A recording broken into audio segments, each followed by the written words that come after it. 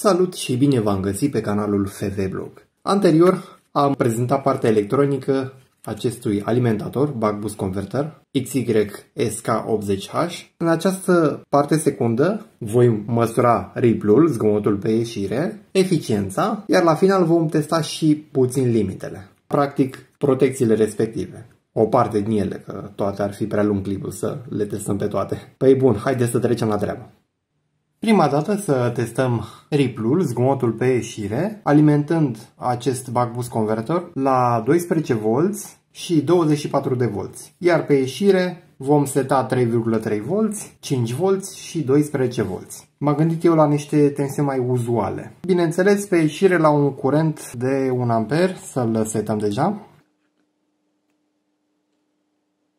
un pic cam mult, să mai scădem, am zis un amper, da, lăsăm atât. Și avem zgomotul pe ieșire de aproape 100 de mV vâr la vârf. Deci exact cum așteptam, acel filtru trece jos de nivel 2, LC, pe ieșire își face treaba. Hai să setăm și 5 V pe ieșire. Ah, lăsăm atât. Ok, să pornim. 5 V pe ieșire și avem un zgomot pe ieșire, se menține foarte bine, de 100 de volți vâr la vârf, pic to pic. Să mărim și la 12 volți, atât. A pornit acel ventilator din spate, nu știu dacă l-auziți voi. Și avem un zgomot pe ieșire de, hai să spunem, undeva pe la 120 mV vâr la vârf. Iar acum să măsurăm riplu având pe intrare 24 de volți și să setăm tensiunea pe ieșire de 3,3 V în regulă, îi dăm drumul. Da, deci cam același riplu de 100 de mV la vârf, ca la alimentarea de 12 V pe intrare. Să setăm și 5 V, îi dăm drumul. Aproximativ 100 de mV vâr la vârf. Să setăm și 12 V pe ieșire. 12 V. Îi dăm drumul. La 12 V avem un riplu de 120 de mV la vârf, cu aproximație. Bineînțeles, alimentăm montajul în cazul acesta la 24 de V. Da? În privința zgomotului pe ieșire, trag concluzia că valoarea nu este influențată de tensiunea ce o aplicăm pe intrarea acestui buck boost convertor. Chiar dacă alimentăm la 12 V sau la 24 de V, observăm același riplu la 3,3 V, 5 V și 12 V pe ieșire, cu având un curent de 1 A. Bineînțeles că riplu crește odată cu creșterea curentului.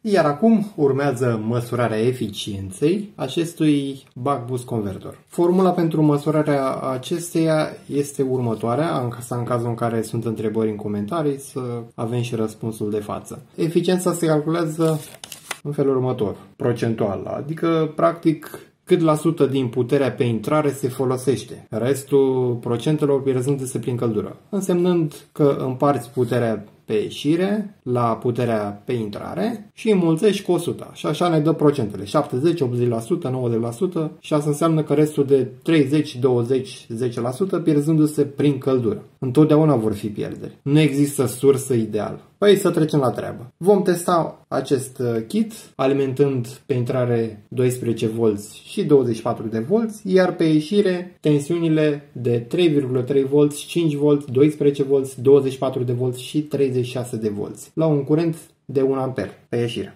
Prima dată să setăm la 3,3 V. Ok, să pornim. E setat deja și electronic loaderul la 1 A. În partea stângă a ecranului veți vedea panoul de măsură al sursei mele de laborator. Avem o putere pe intrare de 4,9W, iar pe ieșire de 3,4W rotunjim. Și ne-a dat o eficiență din calculul nostru de 69%. Asta înseamnă că 1,5W se va pierde prin căldură. Hai să setăm la 5V. Da, să-i dăm drumul.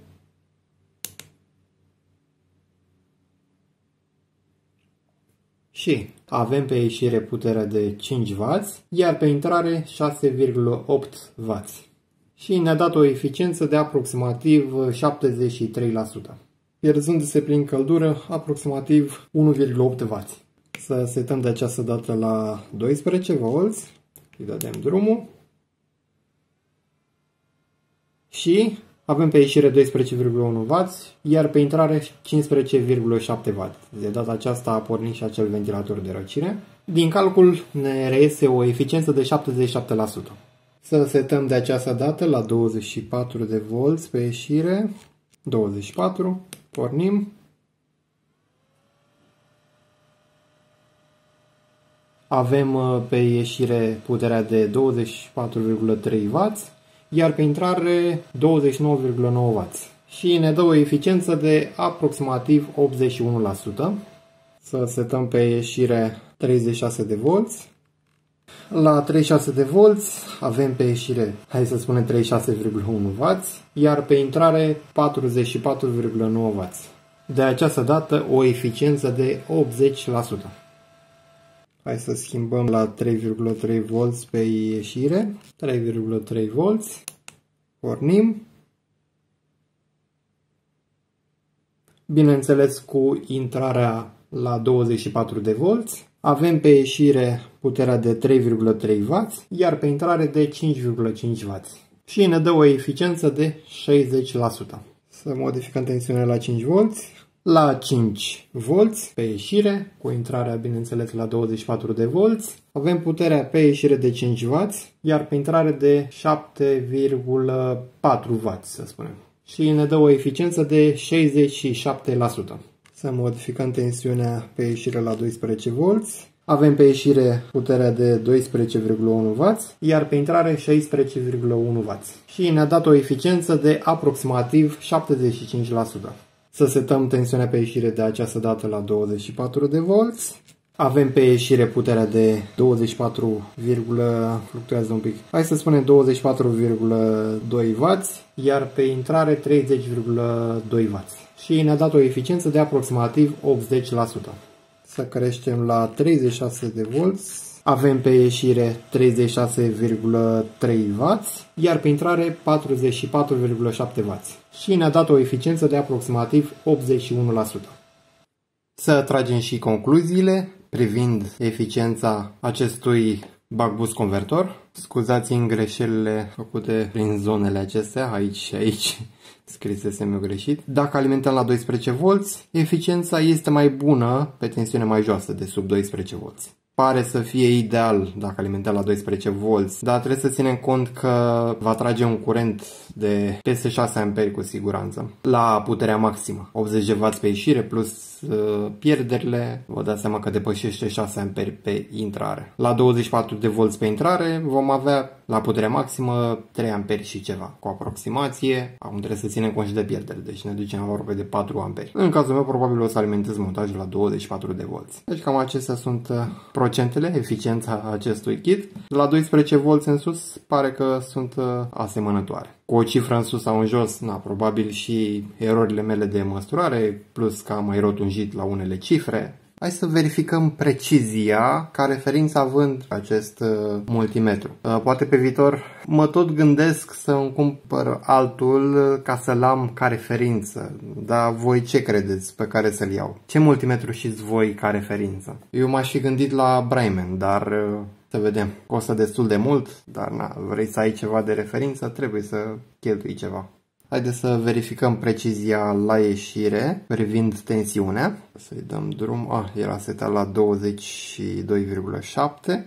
Din câte se observă deja se vede diferența de aproximativ 100, puțin peste 110 mA. Haideți să micșorăm tensiunea. Prima dată aș vrea să măsor fără nici un consum pe ieșire, însemnând că nu bag nicio sarcină. Ieșirea acestui alimentator 0,59 de volți, 0,59. Aici bag seama că e foarte precis. Hai să mărim la 3,3, deci avem 3,3. Pe mine, sincer, mă interesează prima cifră după virgulă, a doua, că e cu 10 mV mai sus, că e mai jos, nu mă interesează. Să mărim la 5 volți, da, se observă că în realitate e mai puțin. Să mărim la 12, ai 12,1 cu aproximativ 100 de mV mai puțin în realitate. E acceptabil. Probabil se poate calibra, dar ah, nu mai îmi bat capul acum. Ai la 24 de volt, 24,1 cu aproximativ 100 și ceva de milivolți mai puțin. Ai la 32, 32. Ok, ați văzut. Și la 36,5 maximum. 100 și ceva de milivolți mai jos arată în realitate. Hai să atașăm și un consum pe ieșire în sarcină. Să spunem un amper aproximativ, arată mai puțin în realitate, 3,29, aici apare 3,31, mărin la 5, 5,06, aici arată 5,11. Mărin la 12, 12,03, aici apare 12,13. 24 de volți, 23,97, aici apare 24,12. Mărin la 36,5 la maxim, pe acest buck boost converter ne arată 36,5, dar în realitate este 36, hai să spunem 36,3. Cam asta e precizia pe partea de tensiune, dar probabil se mai poate calibra. Hai să testăm și curentul. De data aceasta vreau să facem comparație privind uh, curentul, precizia curentului. În stânga avem multimetrul pe care l-am eu ca referință, iar în partea dreaptă buck boost converterul. E ok? E în regulă? Hai să scădem la un curent mai mic. Curentul chiar îmi place, e în regulă. 84-85 aici. Da, la curent mic se pare că în realitate arată mai mult. Atenție, pe multimetrul meu sunt pe partea de măsurare de până în 10 amperi. Asta înseamnă că resența internă este foarte mică în cazul multimetrului meu. Deci nu sunt pe partea de miliamperi. Acolo situația e diferită. Da, se pare că la curent mic nu afișează chiar corect curentul. De fapt, afișează pe minus în comparație cu realitatea. Să scădem la un curent foarte mic de, să spunem, 37 pe buck converterul nostru, e în realitate 52-53 de mA. Să creștem la 2 A, oh, prea mult, dar nu contează, lăsăm atât. 3,27, aici, în partea asta, referința noastră 3,25. Cam asta este.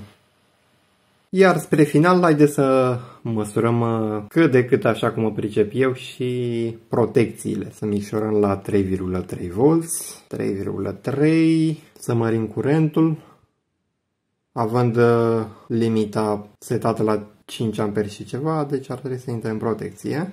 3,5 A, 3,15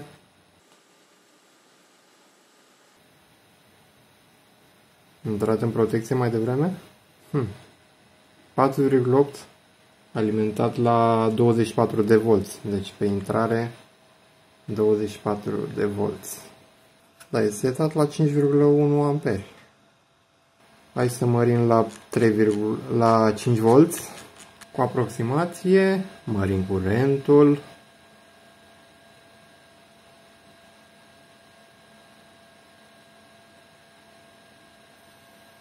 5 amperi și intră în protecție. La 5 volți curentul intră perfect în protecție, exact la 5,1.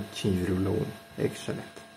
Cresc eu un pic, cresc, scad, cresc curentul, adică cresc consumul practic din acel electronic loader. Hai să creștem tensiunea la 12 volți. Am setat 12 volți, să creștem curentul Protecția puterii pe ieșire este setată la 82 de W. Oricum, în cazul acesta o să intre protecția pe curent, parte de curent. A intrat, nu știu, intră mai devreme un pic. 4,8 deci stabil pe undeva pe la 4,8 amperi apoi intră protecția. Da, Hai să creștem tensiunea la 24 de volți, 24,1. Creștem curentul pe ieșire, creștem consumul. 3,2 amperi. A intrat protecția privind uh, puterea pe ieșire. Am înțeles. Da, trebuie să țin cont să cresc mai ușor. 74 de W puterea pe ieșire. 3 amperi. 3,3 amperi. Și aici trebuie să intre protecția privind puterea pe ieșire. Da. Deci aproape de 3,4 amperi. Dar oricum e normal, e în regulă. Deci de acum încolo o să intre practic protecția privind puterea pe ieșire. Scădem la câteva sute de miliamperi și creștem tensiunea pe ieșire la 36 de volți. Ai 36,1. Creștem curentul ușor, 1,4 amperi. Ok, suntem la limită, mai avem nițel. 2,24 amperi. La 2,25 amperi pe ieșire, cu tensiunea pe 36,1, intră în protecție privind puterea pe ieșire. Overpower Protection. Supra-putere pe ieșire. O dată și pornește acum. Păi cam aici să termin acest clip. Eu zic că am uh, testat marea majoritate a chestiilor. În afară de calibrare, nu mai îmi bat capul acum, ah, e mult prea complicat. Probabil, cred că e meniul acela, apăsând lung aici. Gata, a intrat și la capăt ar trebui să fie. Nu aici, nu aici, mai, mai încolo.